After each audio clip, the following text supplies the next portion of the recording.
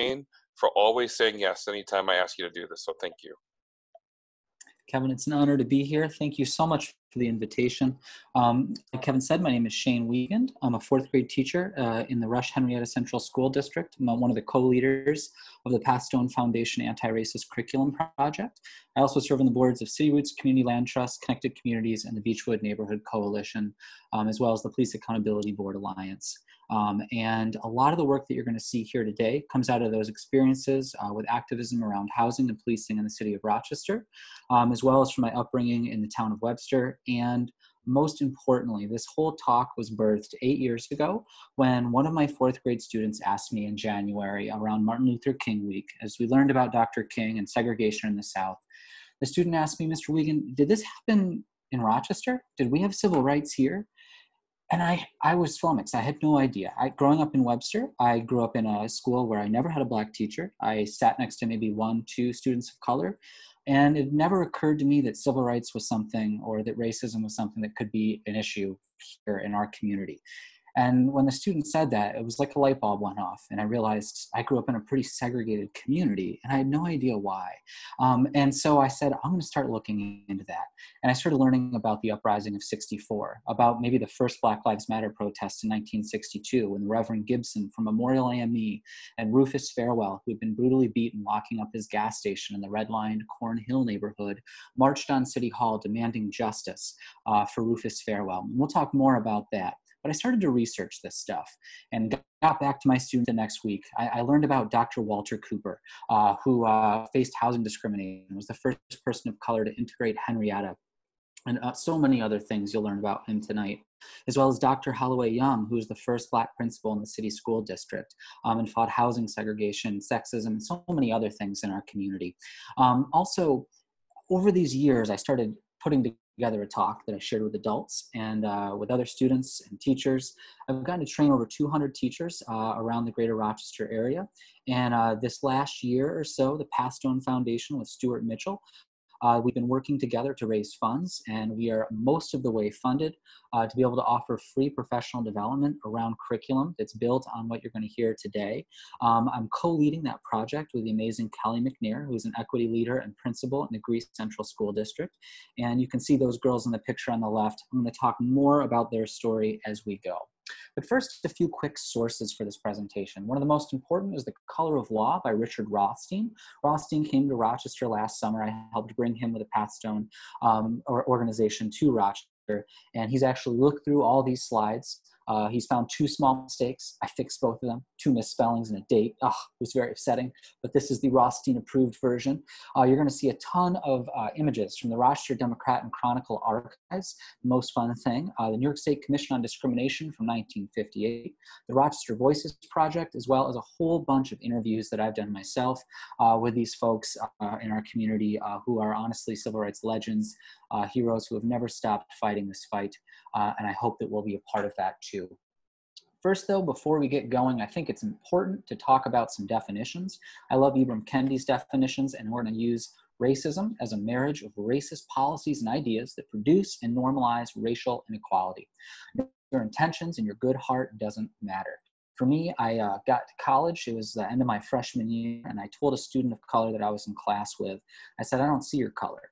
And uh, it was a totally racist comment. And the student said to me, that's super racist. What are you talking about? You don't see my color. I'm a black person. And I was like, yeah, but like, I don't see color, man. Like, we're all the same.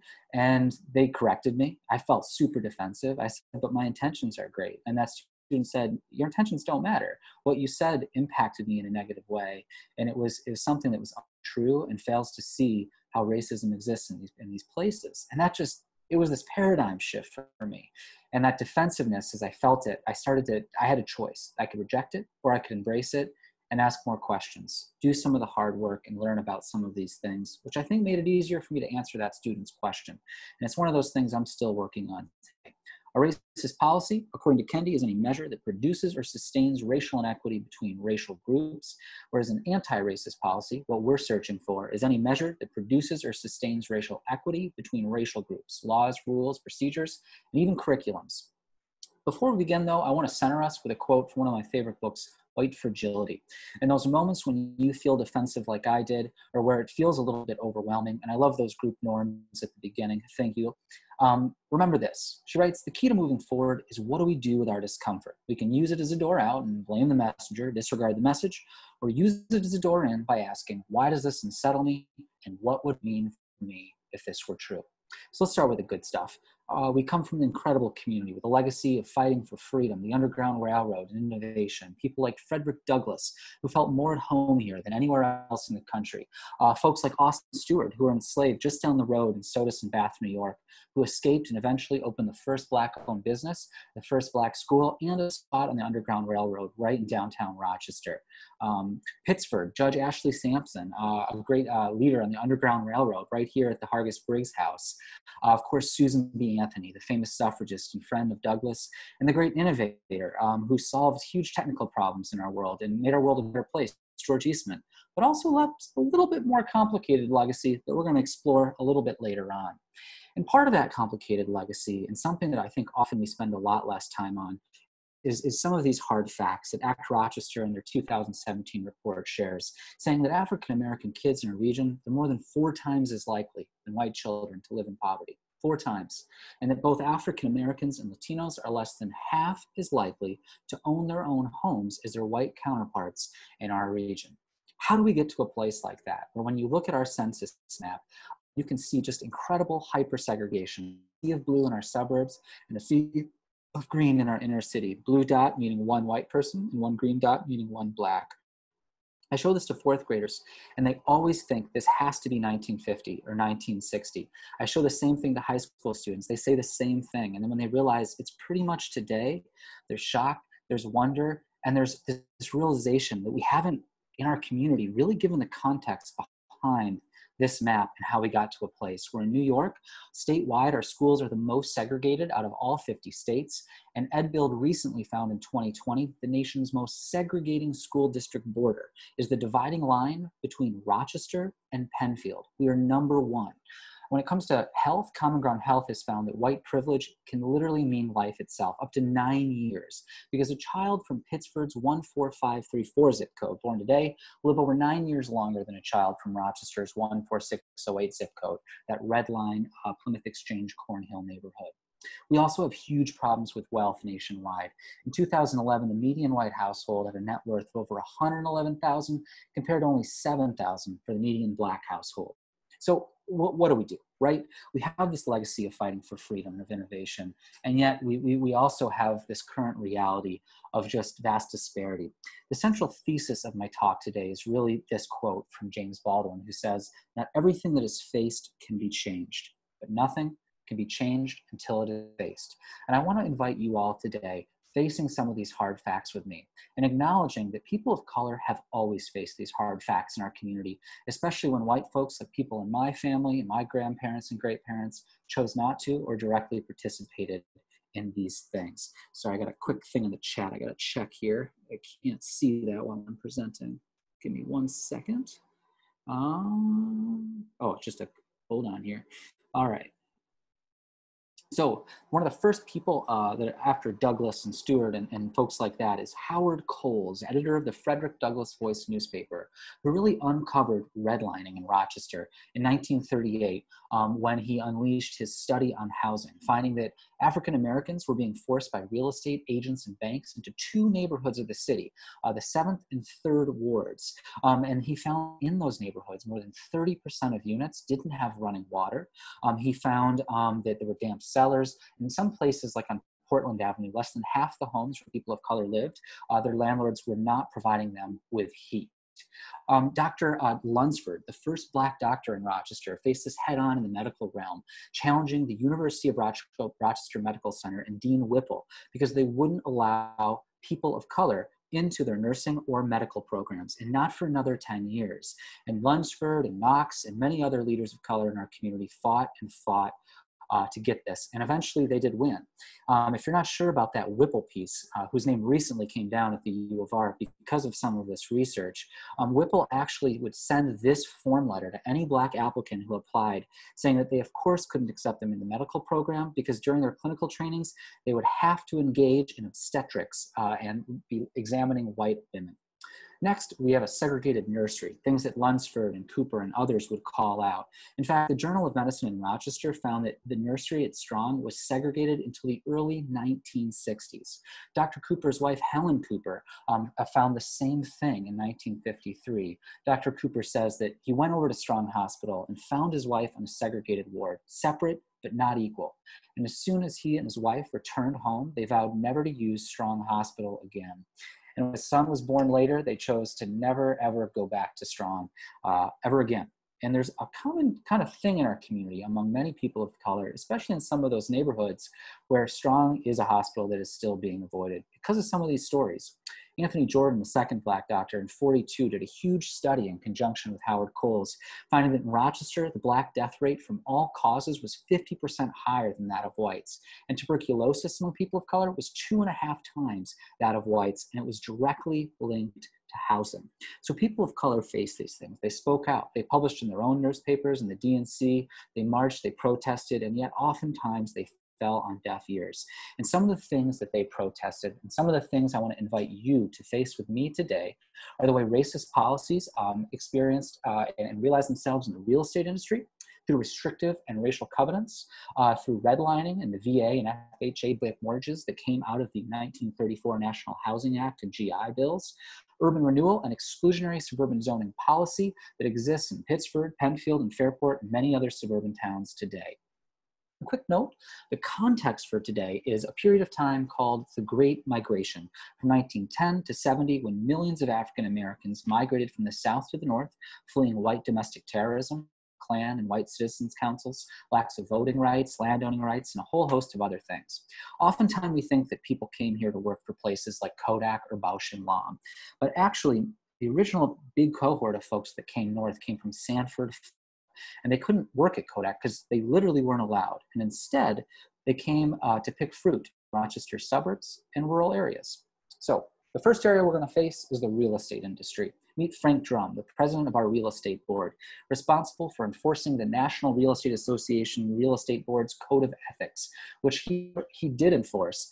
And for over 30 years, this code read that a real should never be instrumental in introducing into a neighborhood a character of property or occupancy, members of any race or nationality, or any individuals whose presence will be clearly detrimental to property values in that neighborhood. A few slides back, you met Howard Coles, who actually knew about this, got his real estate license, and challenged it by showing people of color homes in white neighborhoods like the 19th Ward.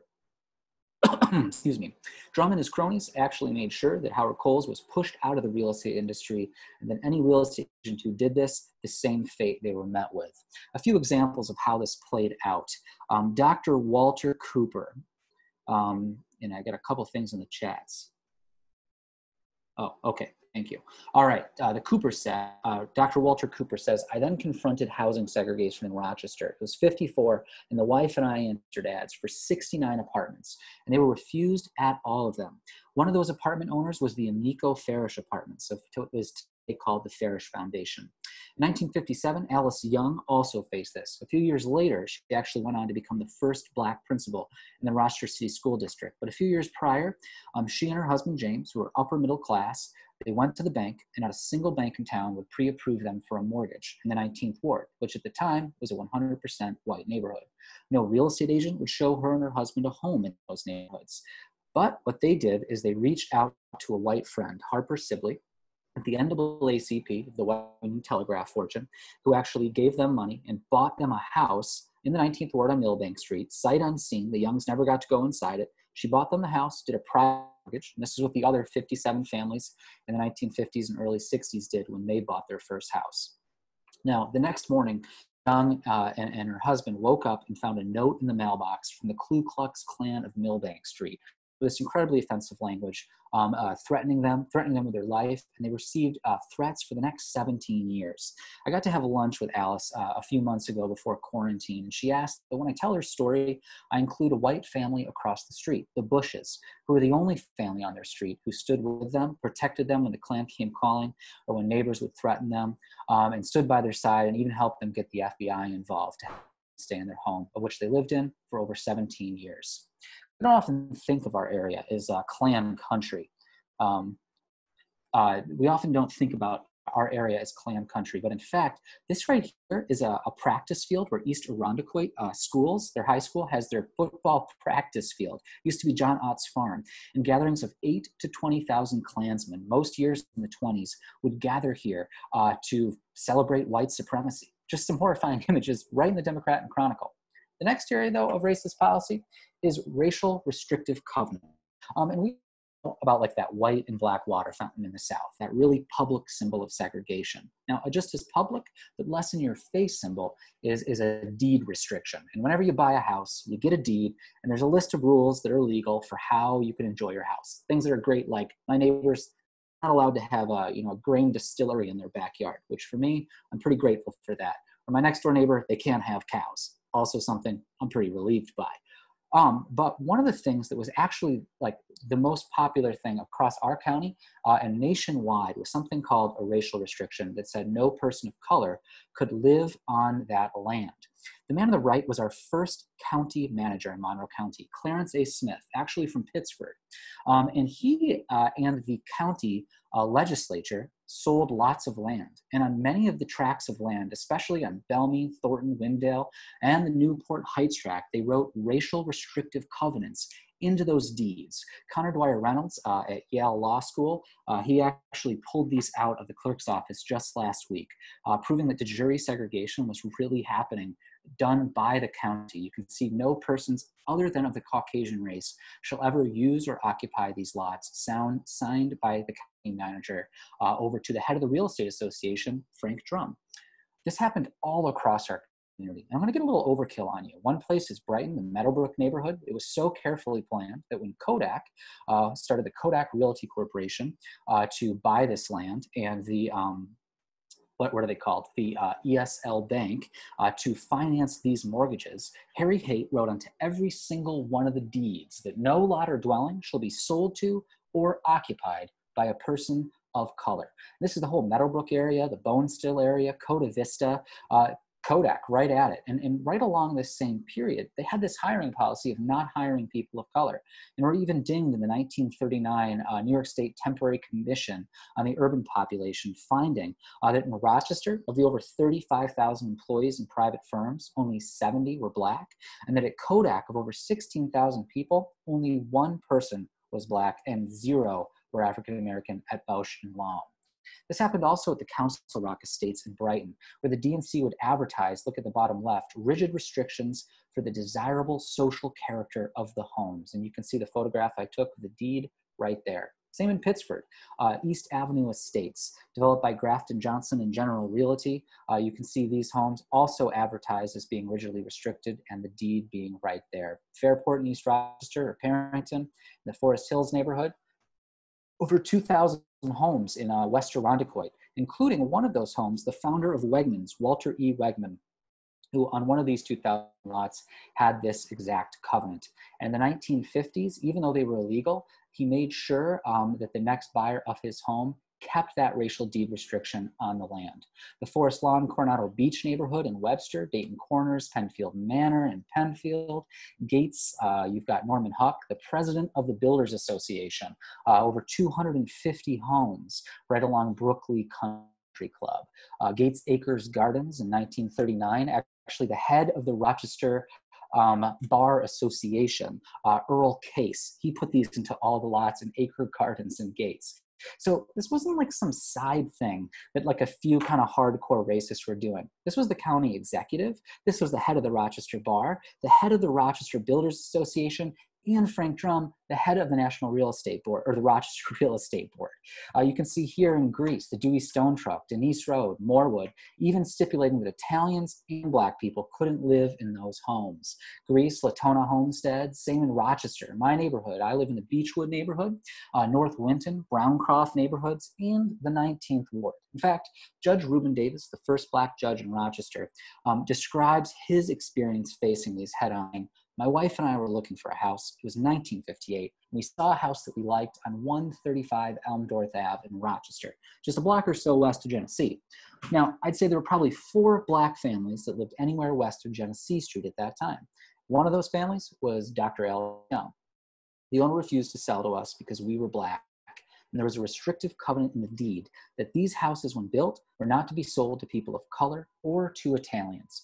Now, a lot of time, folks who are Italian and Jewish who are also discriminated by these deeds uh, and by the FHA um, ha- have said, you know, wow, like we've had it just as bad. But it's important to note that in 1944, the GI Bill gets passed. And when the GI Bill gets passed in 44, um, Italians and Jewish folks are legally deemed white in the eyes of the federal government and are, are able to get VA and FHA mortgages to buy their homes, whereas black veterans returning from World War II uh, and just any black individuals did not have that same access uh, to those resources. Here are some of the places that I found these covenants so far. And I want to say look on Wednesday or Thursday. City Roots Land Trust, of which I'm a member, as well as the Yale Law School, will be publishing a huge report on racial restrictive covenants and what we can do about them. It should be in a lot of the news sources, so it, it's going to be incredible. Get excited. I've helped write it, and I am beyond beyond ecstatic about what, what it's going to do, I think, in our community. The next area of racist policy, though, is the New Deal, particularly the National Housing Act of 1934. This comes in the wake of the Great Depression. There's a huge housing crisis, and FDR, who's not from the South, and Senator Wagner, also not from the proud New Yorkers, they passed one of the most racist laws since slavery in our country, uh, the National Housing Act, which creates the FHA mortgage. It creates the 30 year fixed interest rate mortgage with very little to no money down. And it was ex- exclusively for white folks because written into the FHA underwriting manual by Francis Babcock, who in 24 uh, was the man who invented race based home assessment in Chicago and was hired because of that race based home assessment skill to come in and write the underwriting manual for how this law would be carried out. He said that if any neighborhood is to retain stability, it's necessary that properties shall continue to be occupied by the same social and racial classes. And the racist idea to justify a change in racial or social occupancy leads to instability and a reduction in values, something of which there was no evidence or research ever done to show that that was proof or true. They also go on to mandate that deed restrictions like the ones I just showed you in Rochester, should be imposed upon all land, prohibiting the occupancy of properties except by the race for which they are attended. Many of you may have heard of the Levitt towns. Almost 8% of the country's suburbs in the 40s and 50s were built by the Levitt brothers, all of which they built by using government financing to buy all the home building materials up front. They couldn't get those home building materials and those dollars unless they put these deed restrictions on there. In fact, they go even further, saying that highways and parks and rivers, they should be in place to separate black and white neighborhoods or inharmonious racial groups. And that brings you things like 490 and the inner loop. Now, we're looking at these federal policies, things brought by folks who oftentimes I think we thought of as kind of like northern liberals or good guys. But Ibram Kendi gives us a different way to think about this in his masterwork, Stamped in the Beginning, saying, time and again, powerful and brilliant men and women have produced racist ideas, like the ones you just saw, in order to justify the racist policies of their era, like this policy that gave white families the opportunity to buy homes and not black. He goes on to say uh, in the book, So You Want to Talk About Race, another way to think about it is the ultimate goal of racism is the profit and the comfort of the white race, specifically of rich white men, which includes myself and my father and both of my grandfathers. Both of my grandfathers in the 50s and 60s got 30 year FHA or VA mortgages with almost no money down uh, to buy homes one of my grandfathers, he was pretty poor, but he still was able to buy a home his first year of being in elementary school, uh, sixth grade science teacher. Um, he buys this tiny little home in Council Bluffs, Iowa, sells it, buys a much bigger home, uses that equity to send my parents, my uncles to college, helped send me to college. My dad moved to Rochester to work for Xerox with an engineering degree, and that wealth got passed down to where I'm standing before you today. I own a home in Beechwood. Uh, I don't have any debt but my mortgage. And, and when I've had mistakes like crashing my car when I first got out of college, uh, like I mean, my parents were able to, you know, drop me a couple thousand dollars to help me pay for that so that I didn't go broke and didn't have to choose between paying rent um, and fixing my car so that I could get to work. And, and this is where that area of wealth being created by the government exclusively for one group of people, people like myself, is so important to recognize that history, to own that, and to have that conversation in your community and I think with your family. So, how do they enforce the racial segregation? This is where that term redlining comes in. They were actually called residential security maps. And neighborhoods were, were, were rated like this. Green and blue, best, most desirable neighborhoods, meaning predominantly white, um, business class type folks. Yellow areas meant definitely declining, day laborers, uh, maybe uh, second generation uh, people who have Im- immigrated, and redlined areas were deemed hazardous. And the hazard, aside from maybe environmental issues like the vacuum oil plant in the Plex neighborhood, specifically had to do with this, which was on every one of the reports, all of which, if you go online, you can look this up and you can read every neighborhood, including the ones in Pittsford that were rated. 75% of Corn Hill, Red Line neighborhood, was black, and 10% was foreign, right? And, and you can see they're looking to see if a neighborhood's even being infiltrated. Pittsford, Oak Hill, the East Avenue Estates. If you are, were really sharp, you'd remember I showed you this neighborhood earlier. It's the neighborhood that had uh, deed restrictions on every one of the homes by Oak Hill and it worked zero, uh, almost 20 years later 0% black 0% foreign families and making almost triple the income of the folks in the cornhill neighborhood meanwhile as, as the suburbs started to grow from these tiny little towns of 5 to 8 9000 people um, and they get massive influxes of government money to build out almost all of those homes went to white folks. In fact, the redlining went so well in our community that when Dr. Cooper uh, was the first person of color to integrate Henrietta in 1958. Other members of the NAACP joined, and by 1960, Henrietta was the most integrated suburb of Monroe County, of all of Monroe County, with 11 individual people of color. Talk about integration. Now, in the Rothstein's book, The Color of Law, he writes that the FHA and VA insured half of all new mortgages nationwide. This wasn't some tiny surplus. It was a policy that created and built our suburbs in our communities. In fact, they gave out over $119 billion in mortgage insurance. And of that $119 billion government handout, over 35 million families benefited, and 98% of them white. Like this family that Douglas Foxell in 44 is given the first GI loan that was whites only to, uh, and right here in Rochester. So you got to ask yourself, all right, we're the home of Frederick Douglass, right? And Susan B. Anthony. People in Rochester couldn't have wanted segregation. They, they, they must have said something and, and stood up. This couldn't have been something that our towns wanted. It was something, maybe it was just done to us. But in fact, an interesting thing and piece of context that helps us think through this is something called a blackface minstrel show that reveals sort of the tone uh, of just white supremacy in our community. Um, a blackface minstrel show uh, was something that from 19 1900 to 1968 in Monroe County was huge. Every single winter and spring, uh, churches, schools, fire departments, um, and town halls, Kiwanis clubs, and the Rotary Club, they would put on these fundraisers where you'd have three or four main characters Jim Crow, Jim C O O N, Jim Dandy, and Mr. Bones, uh, who would blacken their faces with burnt cork, draw on garish and pink lips, and they would mock the intelligence of people of color and educate both community members and especially children about how they should view people of color. For example, this is the front page of the Honeoye Fall Times in 1960. These people are still alive in full racist blackface, proudly being celebrated as this great thing on the front page. Kodak also published these photos of their annual minstrel show that the executives put on for their employees at Kodak Park, including the Kodak Park minstrels you can see right there on the left, even dressing up their children in these black faces. Schools in Pittsford, like Allendale Private School, um, some of Rochester's biggest names, like Daniel Beach of Harris Beach Law Firm, John McGuckin, who the soccer field is named after at Allendale and Harley, uh, and some of these other folks, uh, like the Shumways, who own the Continental Beauty School. Some of the biggest names in our community, you can see these folks in blackface in the paper back in the 1940s. Um, same with Pittsford, the Holy Name Society, the St. Louis Parish, they had their annual minstrel show. sort of the Pittsford Masons in full blackface. Uh, in uh, the late 19, or early 1950s, Newark Junior High School, uh, same with RIT in the redlined uh, Third Ward. Um, you can see some of the other towns here that hosted. It was pretty much every town, almost every single spring or winter, including, of course, the city of Rochester. So one of those things it kind of shows us that people are being taught this and that these, these kinds of policies and segregation are good.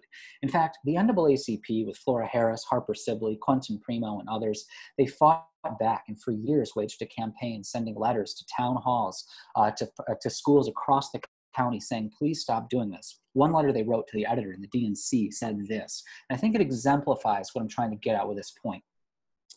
Primo writes, Blackface minstrel shows must be banned from all public and private schools, churches, and public buildings. To do otherwise will cripple permanently the attitudes of all white youth involved in these community accepted shows towards all of the dark skinned people of the world. And while after Martin Luther King's assassination, there was like a, a, shift where these shows started to go away in our community, to the point where I grew up in the 90s and early 2000s, and I just learned nothing about race at my church or or at my school um, and I, I, think that's a place where we're sometimes at today where what we're teaching instead is sort of a silence which says quite a bit as well next i want to talk about how this really played out look at some of the stats not just some anecdotes this is the 1958 New York State Commission Against Discrimination. And while the people of color who advocated to have something done, they didn't action, they did get a report, something that often happens in our community still to this day. Oops, hold on a second. All right. Uh, it found quite a few things that help us understand the impact of redlining, finding that in the 50s, 80% of people of color in our county lived in just two redline neighborhoods, the third and seventh.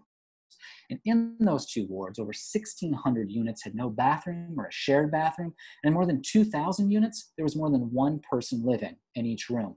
In fact, Connie Mitchell ran for public office against Lester Peck because of the redlining and these racist policies that were happening. She writes, We were living in a community bursting at the seams because there wasn't open housing. When John and I bought our house in Gregg Street in the third ward, the real estate agent told us, I can't show you houses west of Jefferson Ave. They're just not open to black people. So we were confined from Jefferson Avenue back to the river to look for a place to live on the west side of the city. Eventually, Connie Mitchell, she won on her second try and began to fight that fight uh, in the Monroe County office. Only a few years after, county supervisor, uh, who, is, uh, who is still on board at that time uh, for Pittsford, had been putting these deed restrictions onto land that the county was selling. Remember that. The report also found that in these two wards, 30% of all units had no running water. And if you remember, 20 years prior, Howard Coles had found a very similar statistic in his Frederick Douglass Voice newspaper report.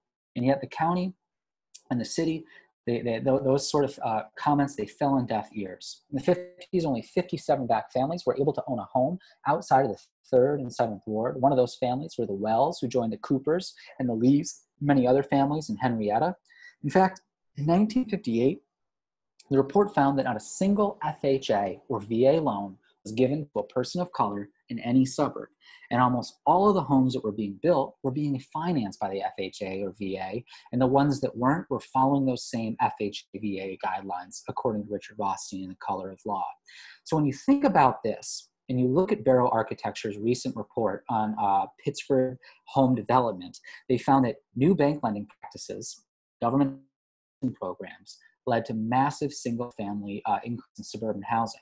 Dramatic growth happened so that from 1950 70, the town of Pittsford jumps from 9,000 to over 25,000 residents. Of course, the majority of whom are entirely white because it was the federal government that helped build towns like Pittsford. And those homes that maybe were selling for 30 to 50,000 dollars at that time, of course, today are going for two to four to five to even higher thousands of dollars, right? So when you look at the neighborhoods in Pittsford that they map out in this report, these are all the neighborhoods that were built during this time with these federal subsidies. I'm just going to go quickly through them, but you can see every one of these streets, people of color wouldn't have been able to live there unless they did what the Youngs did, finding a white person to buy them the home and sneakily sell it to them under the table through one of those sneaky straw man deals. I think Sam Dent maybe was the first person of color to make it out to Pittsford, and I don't quite have that year. That's according to Dr. Cooper, who worked with him at Kodak.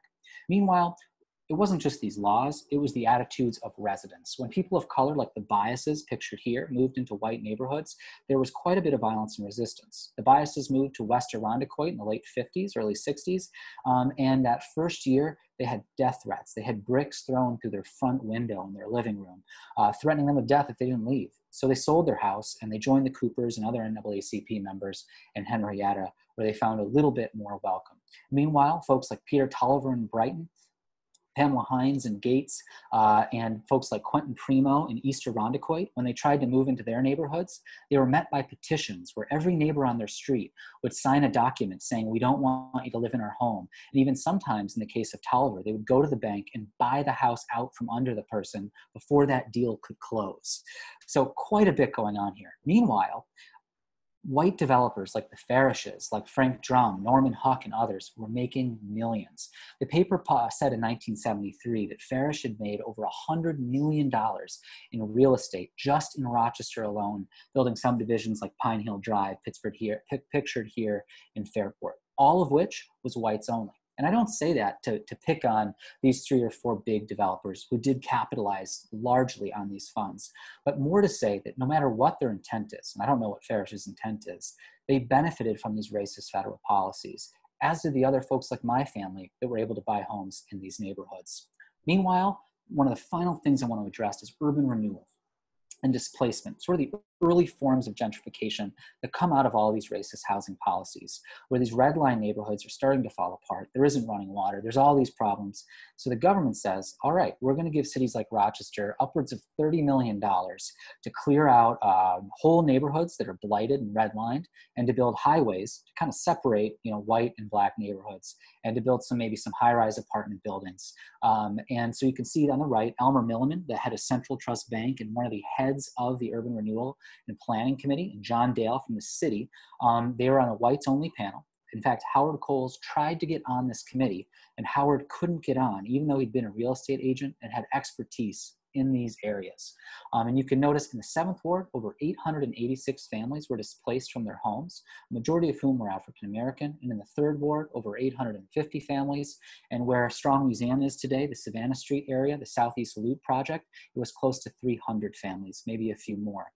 Um, to continue on here, one example of how this played out is that these neighborhoods, while they were redlined and people of color were steered there, and oftentimes Jewish and Italian folks were too, these were fairly integrated neighborhoods um, where black and white folks they lived together. Obviously there were big issues but they did live together.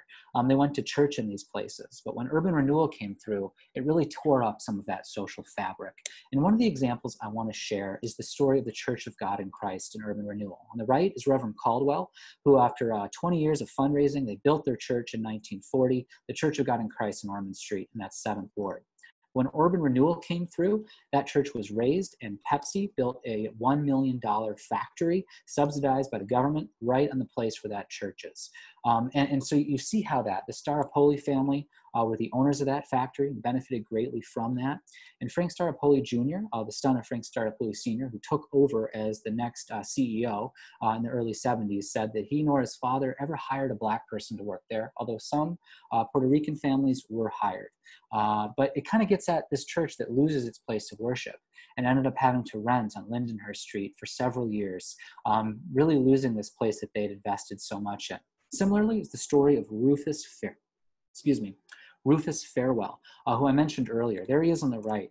Um, he was sitting in a wheelchair there because he'd been put there by the police officers of RPD, who thought he was robbing the gas station he managed on Plymouth uh, and Columbia Streets in the redlined area of uh, the Third Ward.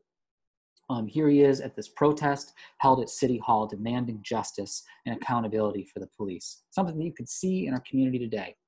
All of these things lead to the 1964 uprising They lasted three days with over a thousand folks being arrested, um, uh, 1,500 National Guard troops coming out. Strongly recommend watching July 64. It's online for free if you want to watch it. It's an incredible look at this story. Carolyn Vacca, the county historian, actually went through the arrest records and found a correlation between folks who participated in the uprising as being the folks who were displaced by urban renewal, didn't have running water, or had been victims of police brutality.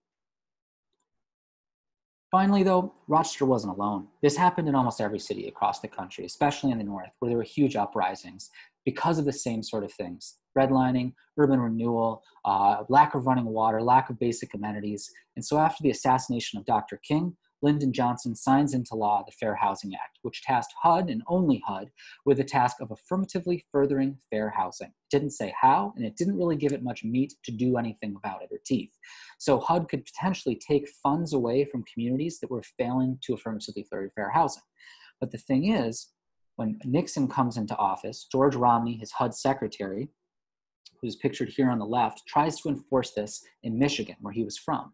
Very quickly, he gets fired by Nixon, who, in his justification for firing him and ordering the next HUD secretary to cease and desist from ever enforcing the Fair Housing Act, which did eliminate redlining and it did eliminate racial restrictive covenants, but it didn't put anything in place to correct the wrong that had been done from redlining, said this in his memo to John Ehrlichman, justifying it, saying, I'm convinced that while legal segregation is totally wrong, that forced segregation, that is forced integration of housing or education is just as wrong. I realize this position will lead us to a situation in which Black people will continue to live, for the most part, in Black neighborhoods, and will there be predominantly Black schools like Webster and Pittsford, and predominantly, or like the city, and predominantly white schools uh, like Webster and Pittsford, where I grew up. The last and final thing I'm going to talk about is exclusionary suburban zoning policy, something that became huge in the 50s, 60s, and 70s when almost every town in our area and nationwide responded to the civil rights movement and uh, some of the eroding of uh, the National Housing Act uh, and its ability to discriminate based on race they decided to discriminate using class as their tool with race based motives.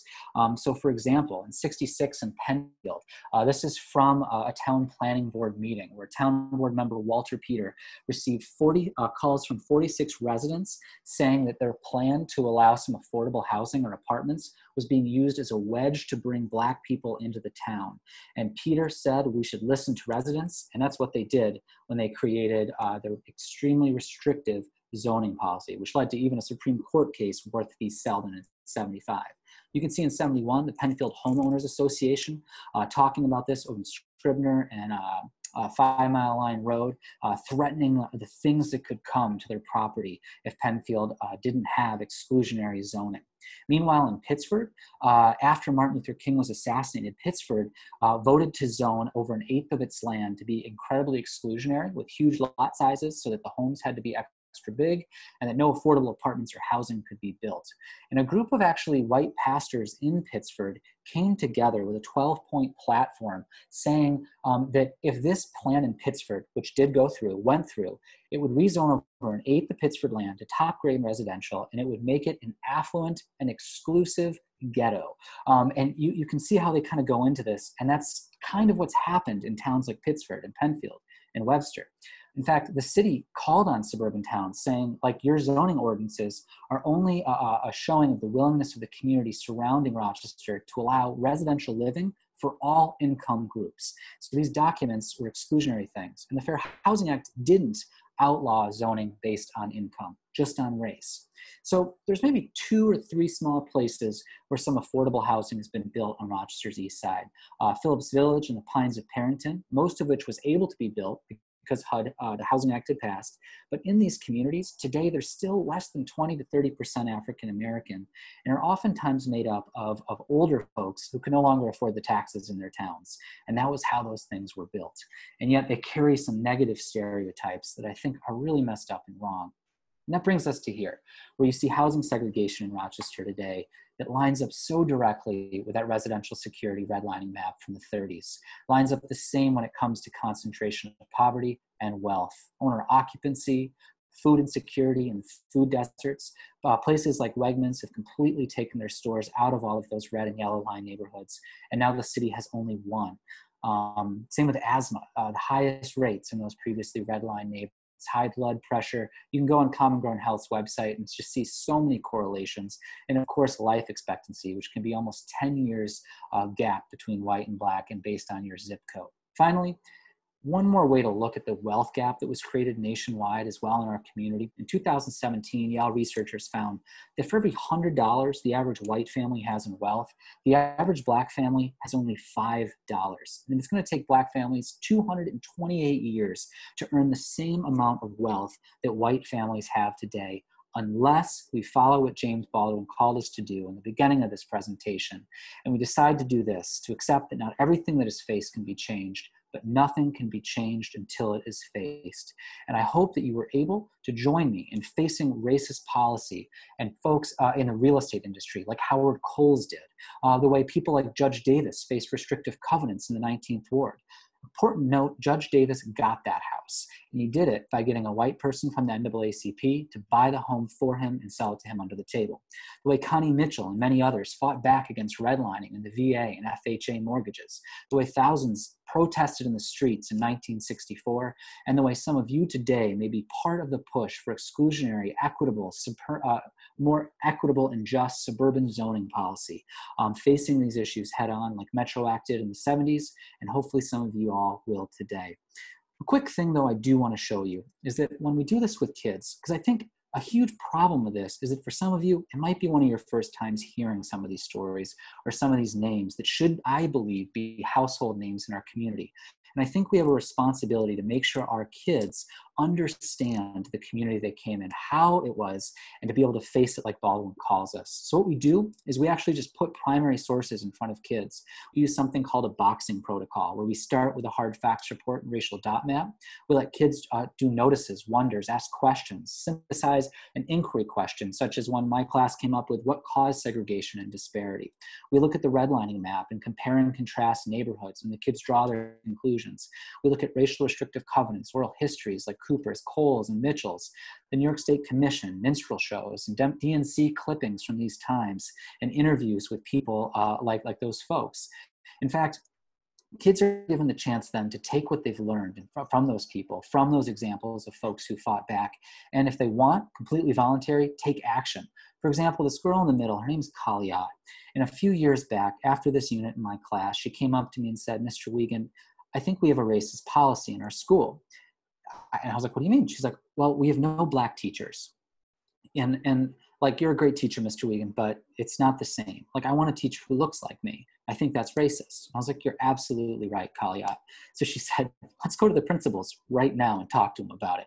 Of course, I was like, oh my gosh. And then I was like, wait, what did Howard Coles do? And she's like, well, he researched it and it got friends involved. So we got Bailey and Stimra, and together, the three of us or four of us came up at lunch every day for a few weeks. We researched, we made slides, and uh, we, we found the facts. We found we had 11 black teachers in Henrietta, 550 white, more than any suburb in Monroe County, except for the city. And so they had lunch with the principal. They shared their presentation. They got to speak to the assistant superintendents, the school board, the community foundation.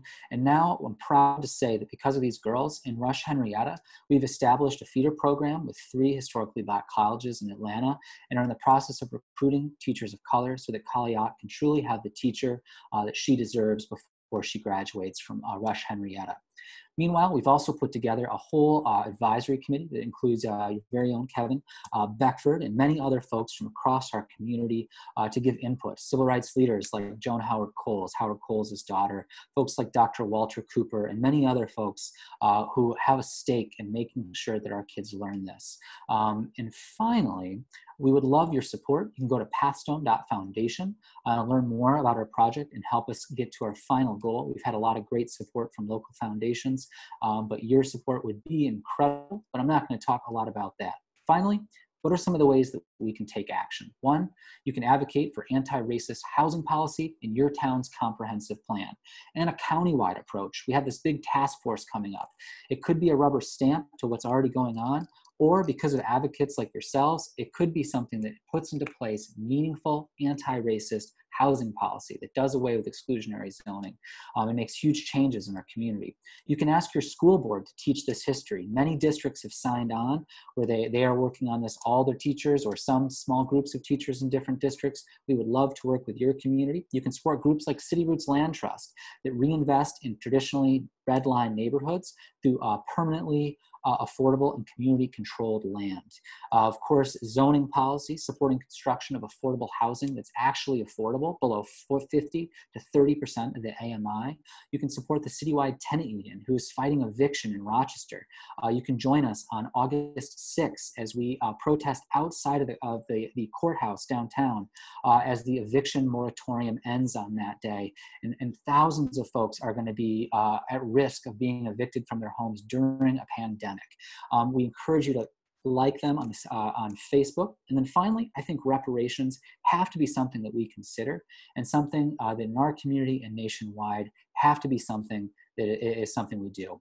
So finally, as I close, I want to ask these sort of questions. I'd love to do a Q&A, but I'd also really like to get personal with this and ask, how have you been impacted by these racist policies? And if you're going to ask a question, I'd like you to talk about that first. How have you been impacted by these policies? Um, if you're willing to do that, I think that would be powerful as to one, name this. It's not about your intent, it is about the impact. And then how are we going to move forward, create anti racist housing policies in Greater Rochester? Thank you so much for having me. I'm going to turn it back over to Kevin or Lindsay. I'm not sure who's facilitating uh, to follow up our last 30 minutes or so with discussion. Um, Kevin, take it away. And do you want me to stop sharing or what should I do here? Actually, why don't you leave that up there for a second? Because I, I, want uh, the first question to be uh, what you have there on the board. So before we open up for questions, I just want, we have about 37 people on the line. So I want to just be thoughtful when you go to share um, to, to be mindful of that, to, you know, uh, put some limit on your share outs so that everybody gets a chance to to share. Um, a number of folks that are on the call today are seeing this for the first time. So this is, I can imagine the feelings and the thoughts that they have. So if you could, that first question that Shane has, and Shane, I just want to thank you again on behalf of everyone here and and really from our community. Uh, this hits me personally here in, in Pittsford. You know, um,